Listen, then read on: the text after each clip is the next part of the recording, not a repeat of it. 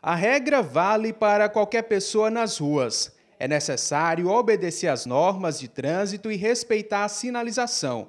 A Marlene sabe da importância de seguir essas regras para manter não só a sua segurança, mas a de todos, sejam eles ciclistas, motociclistas, condutores de veículos ou pedestres. Eu sempre mantenho todos os cuidados. Eu não gosto de sair sem capacete, mesmo que. Ah, eu vou aqui próximo no comércio, no mercadinho. Eu não saio de casa sem meu capacete. Mesmo atenta às normas de trânsito, ela conta que já foi vítima de um acidente quando pilotava sua moto. Já deram uma batidazinha em mim, mas não foi nada grave, graças a Deus. Questão de descuido mesmo do condutor que entrou errado. O outro condutor não respeita o, o, o, meu, o meu direito né, Na, no trânsito. Às vezes ele invade o seu espaço, foi o que aconteceu comigo. Segundo dados da Superintendência Municipal de Transportes e Trânsito, a maioria dos acidentes com mortes e feridos graves em Teresina se dá em acidentes com motocicletas.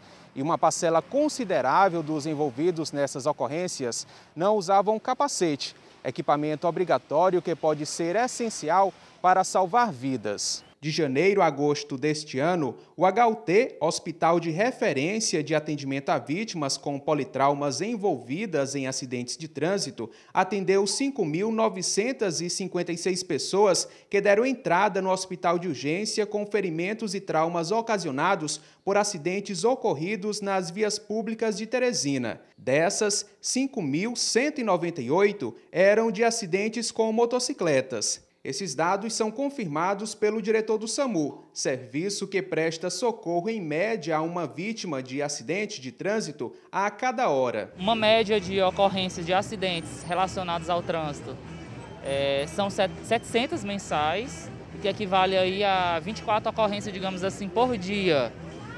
Então, isso é bastante preocupante, porque a gente precisa melhorar essa educação no trânsito, que é o que favorece a diminuir é, dar uma queda, digamos assim, nesses, nesse, nesse problema que é um problema de saúde pública.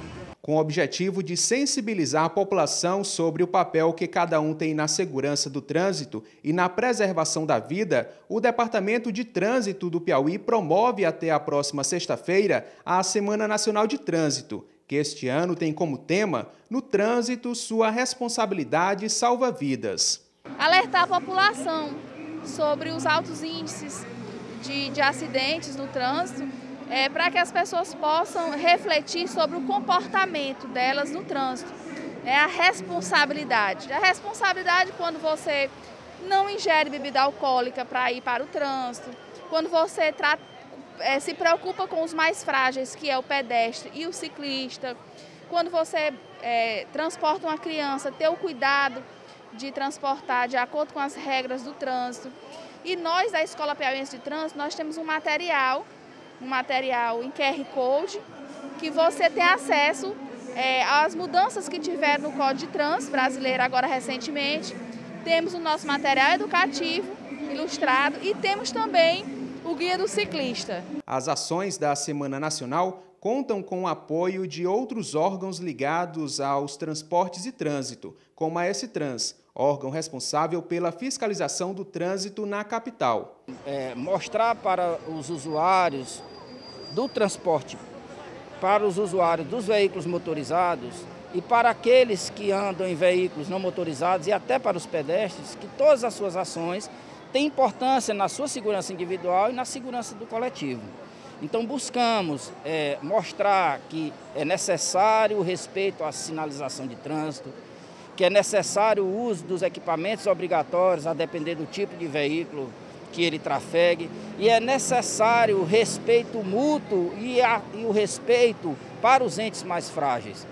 Fazemos aqui, através dessa atividade, um foco especial para o ciclista e para o pedestre, né, para que eles possam ser respeitados e também respeitar os outros atores nesse espaço de convivência.